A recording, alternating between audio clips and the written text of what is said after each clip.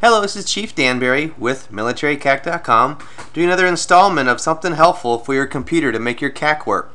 This particular issue, episode is going to be regarding Firefox. A lot of people want to use Firefox on their computer, and up until just recently, I had not cracked the code either.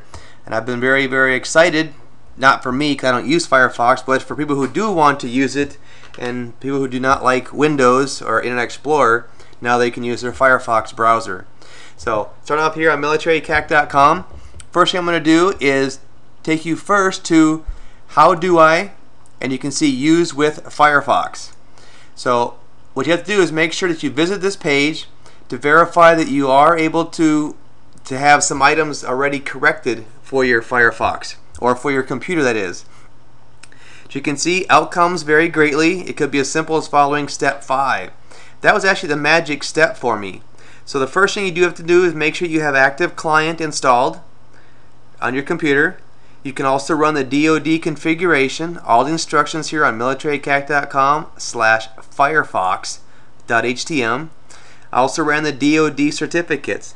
Now, if you've already gotten your CAC to work with ActivClient and your Internet Explorer, you're already going to have ActivClient installed and the Fire DoD certificates installed.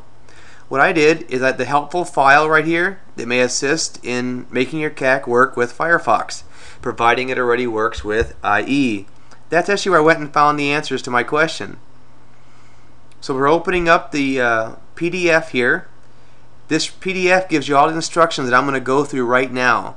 So I'm going to minimize this, minimize Internet Explorer, and we're going to open up Firefox. So you all know right here we're on AKO and I want to log into AKO with my CAC with Firefox. So you all know about the dreaded screens you get when you hit CAC login here. You do not have permission to access this resource. This is what happens when you're trying to access AKO with your CAC on Firefox until you've made just a small little tweak. And you're really amazed how easy this is. We're going to go to Tools, Options.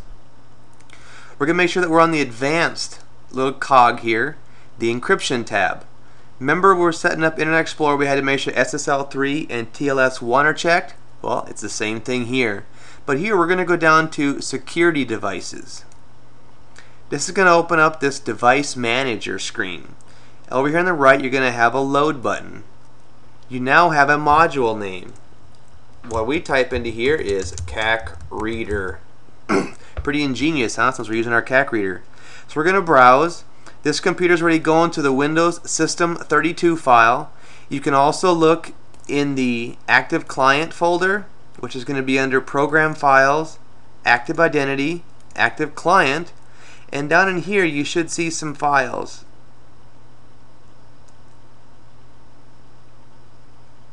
There we go. They're all starting with AC for ActivClient, and it's PC or PKCS. Please don't ask what that stands for because I have not a clue. So we're going to click any one of these. I'm going to start with the 211. Make sure that one works first. So you selected the 211 and you hit open. Up here you're going to on this screen you're going to hit OK. Now over here on the left you have CAC Reader and it's using ActivIdentity. Now something to keep in mind for those of you using Windows 7 and using the built-in smart card utility I have not figured a way to crack this code yet. But I do have it working on Vista, Windows 7, and XP, all doing this exact same steps. We're going to hit OK. We're going to hit OK again. And I'm going to go up here. I already have AKO listed in my in my shortcut bar up here. So I'm going to go back to accept.